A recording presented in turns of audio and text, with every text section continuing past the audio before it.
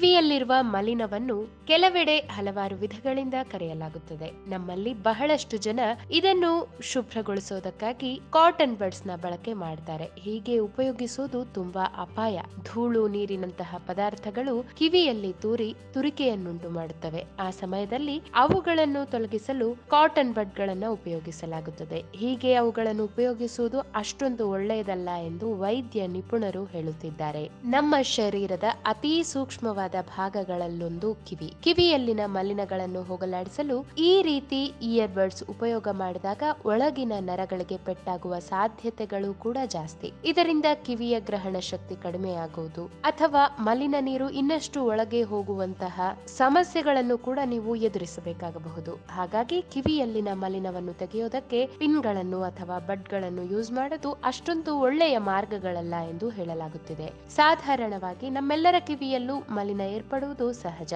ಇನ್ನು ಹೇಳಬೇಕೆಂದರೆ ಅದು ಕಿವಿಯಲ್ಲಿನ ನರಗಳಿಗೆ ಪ್ರೊಟೆಕ್ಷನ್ ಅಂತೆ ಇರುತ್ತದೆ. ಹಲವು ರೀತಿಯ ಕಿವಿಗೆ ಸಂಬಂಧಿಸಿದ ಇನ್ಫೆಕ್ಷನ್ಗಳನ್ನು ಕೂಡ ಬರದಂತೆ ನೋಡಿಕೊಳ್ಳುತ್ತದೆ ಇದು. ಈ ಸಹಜವಾದ ಮಲಿನದಲ್ಲಿ ಆಂಟಿ ಆಕ್ಸಿಡೆಂಟ್ ಗಳಿರುತ್ತವೆ ಅದು ಕಿವಿಯನ್ನು ಶುಭ್ರಗೊಳಿಸಲು ತಯಾರಾಗುತ್ತದೆ. ಹೀಗೆ ತಯಾರಾದ ಮಲಿನ ಯಾವುದೋ ಒಂದು ರೂಪದಲ್ಲಿ ತಂತಾನಾಗಿಯೇ ಹೊರ ಹೋಗುತ್ತದೆ ಆದರೆ ಕೆಲವರು ಇದನ್ನು ಕೆಟ್ಟದ್ದು ಎಂದು ಭಾವಿಸಿ ಪಿನ್ಗಳಿಂದ, ಬಡ್ಗಳಿಂದ ಶುಭ್ರಗೊಳಿಸುತ್ತಿರುತ್ತಾರೆ. ಆದರೆ ಹಾಗೆ ಮಾಡುವುದು ಒಳ್ಳೆಯದಲ್ಲ ಎಂದು ಹೇಳುತ್ತಿದ್ದಾರೆ ವೈದ್ಯ ನಿಪುಣರು. ಇನ್ನು ಕೆಲವರಲ್ಲಿ ಸಾಧಾರಣ ಸ್ಥಿತಿಗಿಂತ ಹೆಚ್ಚಾಗಿ ಇದು ಕಂಡುಬರುತ್ತದೆ. ಹಾಗೆ ಜಾಸ್ತಿಯಾಗಿ ಫಾರ್ಮ್ ಆಗುವುದು ಸ್ವಲ್ಪ ಸಮಸ್ಯೆಯೇ ಸರಿ. ಇನ್ನು ಅದನ್ನು ತೆಗೆಯೋದಕ್ಕೆ ಸಹಜವಾದ ಸಲಹೆ ಇದೆ. ಅದೇನೆಂದು ನಾವಿಂದು ಈ ವಿಡಿಯೋದಲ್ಲಿ ನೋಡೋಣ. ಕಿವಿಯಲ್ಲಿ ಕಂಡುಬರುವ ಮಲಿನ ಸಾಧಾರಣವಾಗಿರುವುದಕ್ಕಿಂತ ಹೆಚ್ಚಾಗಿರುವವರು ಉಗುರು ಬೆಚ್ಚಗಿನ ನೀರಿನಲ್ಲಿ ಸ್ವಲ್ಪ ಉಪ್ಪನ್ನು ಬೆರೆಸಿ, ಇದರಲ್ಲಿ ಒಂದು ಹತ್ತಿ ಉಂಡೆಯನ್ನ ಮುಳುಗಿಸಿ, ತಲೆಯನ್ನು ಒಂದು ಕಡೆ ಬಾಗಿಸಿ ಮೇಲ್ಮುಖವಾಗಿರುವ ಕಿವಿಯಲ್ಲಿ ಹತ್ತಿ ಉಂಡೆಯ ಸಹಾಯದಿಂದ